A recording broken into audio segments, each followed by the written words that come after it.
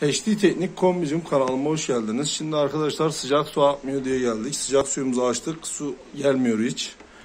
Şimdi e, bütün tezgahların altında ve üstünde bu şekilde taharet muslukları var. Şimdi biz bu taharet musluğun vanasını kapattık. Bu şekilde açık, bu şekilde kapalı oluyor. Burayı açtık ve içinde ne var? Şöyle görelim arkadaşlar. Ve burada aynı keza içi kireç dolmuş. Şimdi arkadaşlar burayı açacağız ilk başta. Şimdi arkadaşlar şu şekilde görebiliyorsunuz.